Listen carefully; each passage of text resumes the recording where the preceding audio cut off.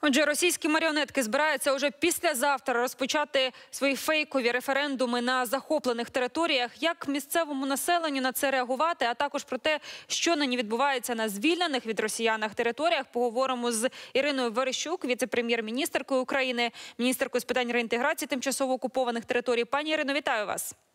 Вітаю. Перше запитання: що людям робити, які зараз залишаються на окупованих територіях, і уже післязавтра їм будуть нав'язувати участь у цих е, псевдореферендумах? Не йти, не брати участі у жодних псевдореферендумах, уникати всіляко, наскільки це можливо, уникати такої участі. Бо ми розуміємо, що жодні референдуми не матимуть ніякої юридичної сили, а санкції та відповідальність точно будуть. Ви що ну не щойно, нещодавно, так кілька днів тому ви повернулися із робочої поїздки на Харківщину. Е, ви відвідали доокуповані населені пункти. Що вас там вразило найбільше? Контраст, контраст, який там абсолютно чітко відчувається життя і смерті. От я їхала е, населеними пунктами, я бачила розбомблені, зруйновані будинки, які фактично вщент зруйновані. Фактично не залишилося, як ми кажемо, живого місця на них. так?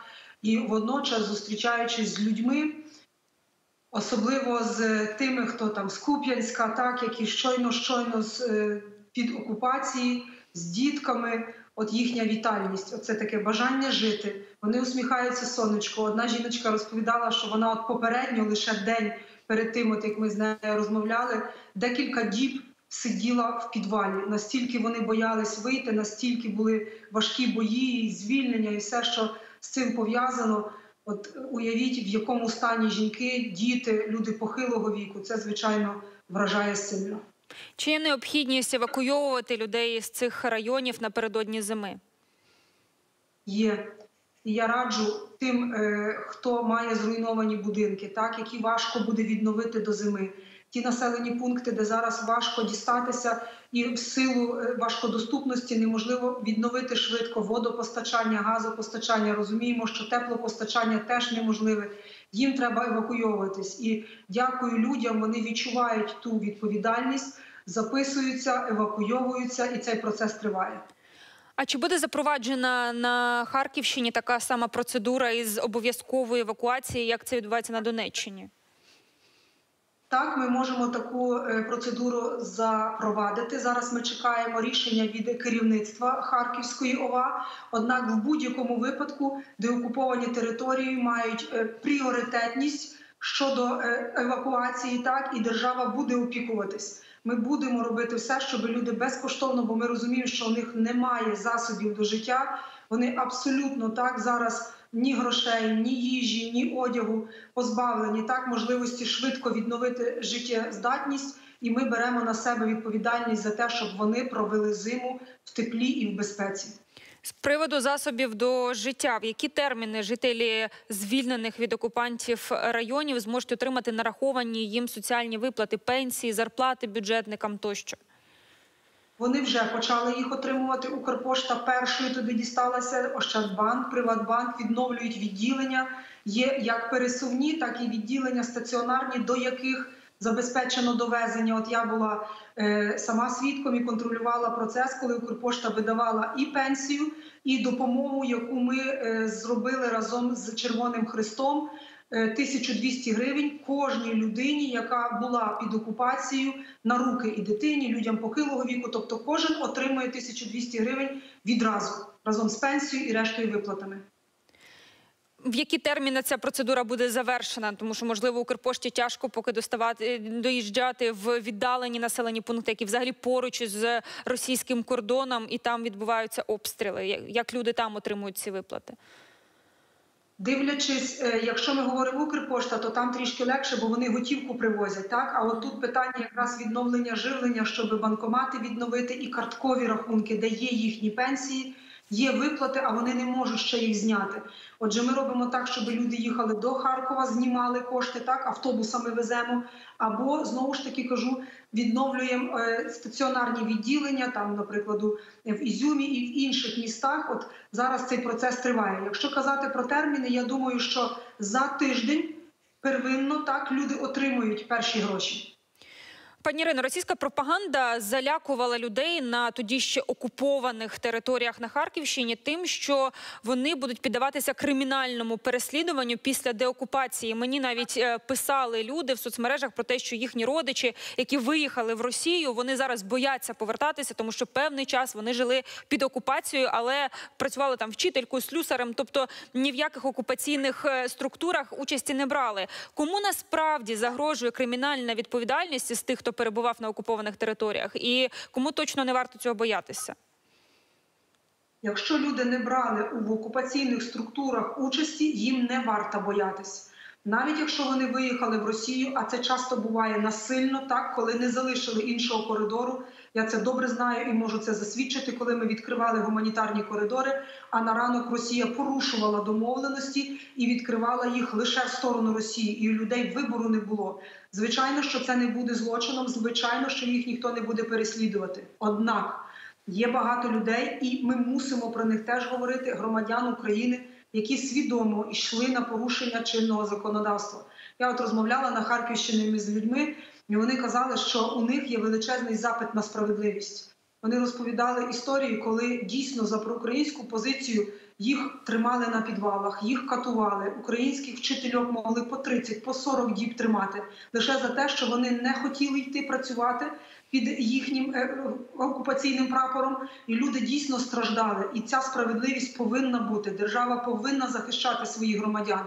І якщо люди дійсно колаборували, до прикладу, там директори шкіл, так які змушували своїх вчителів переходити під російські так звані стандарти, і так далі, вони будуть відповідати. І на Харківщині це великий урок всім, хто думав, що Росія тут назавжди. Росія тут не була і не буде. Тому треба це засвоїти. І хто зараз є на тот, щоб ви мене почули, будь ласка, родичі, передайте своїм рідним не ні в якому разі не брати паспорти, не йти на жодні квазі-референдуми чи псевдо і точно не колаборувати. Про паспорти уряд схвалив розроблений мінреінтеграції законопроєкт про кримінальну відповідальність за отримання російського паспорту на тимчасово окупованій території. Це стосується держслужбовців та чиновників місцевого рівня. Поясніть, для чого така стаття кримінального кодексу, якщо у нас є державна зрада, і цих людей можна було б судити за цією статтею. Можна було б, але є не тільки державна зрада, так і вона значно звужує коло. Ми говоримо лише про тих, хто не буде підозрюватись у державній зраді, а тим не менше отримав російський паспорт, щоб отримати, до прикладу, якусь посаду, так як вони це називають. І тут дійсно ті, хто отримали паспорт, вони будуть е, кримінально карані, а також ті, хто змушував людей, тобто пропагандою або іншим способом змушував людей отримати паспорт, теж будуть притягнені до відповідальності. Умовно, це до прикладу, ті так звані паспортні столи, так де люди там працюють, де люди там роблять все, щоб насильно паспортизувати, або ті, які понижували в правах людей. Тобто, до прикладу, якщо ти не візьмеш паспорт, ти не можеш лікуватися в лікарні, ти не можеш отримати як онкохворий, або інсулінозалежний, або гемодіаліз. Нічого з цього тобі не буде доступно, якщо ти не візьмеш паспорт. От ті, хто це робить, будуть за це відповідати. А чи передбачена якась буде кримінальна відповідальність за участь або організацію референдумів у цих псевдо на окупованих територіях? Так, це стаття 111, 1, частина 5. Це для тих, хто організовує, для тих, хто бере участь. Ну, люди можуть бути змушені до цього, можуть ходити по хатах е, до пенсіонерів, приходити і вимінювати якісь голоси за їжу, умовно кажучи. Ці люди будуть убезпечені потім від е, законного переслідування, скажімо так. Ця стаття 111-1, частина 5, вона говорить лише для тих, хто організує і проводить, так? Тобто для тих, хто є організаторами.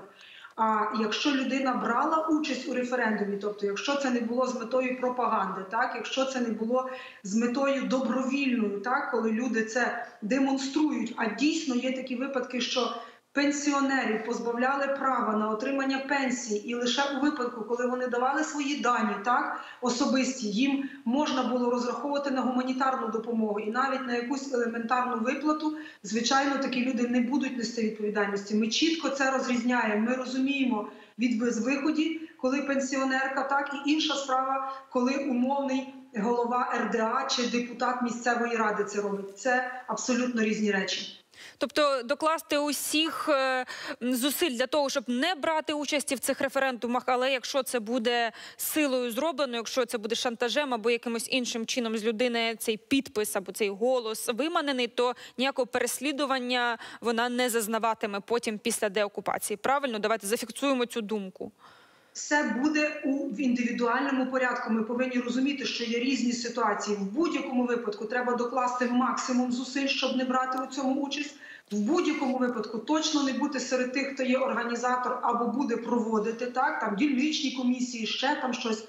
В будь-якому випадку ми референдумів не визнаємо і визнавати не будемо. Ми вважаємо, що це все було під примусом, очевидно. Але знову ж таки кажу, що кримінальний кодекс стоїть на сторожі так законності, і ми повинні це пам'ятати. Наостанок, пані Ірино, Збройні сили України також звільнили кілька населених пунктів на Херсонщині. Про них ми говоримо менше, тому що там активні дуже бойові дії. Що вам відомо про гуманітарну ситуацію саме от на звільненій Херсонщині?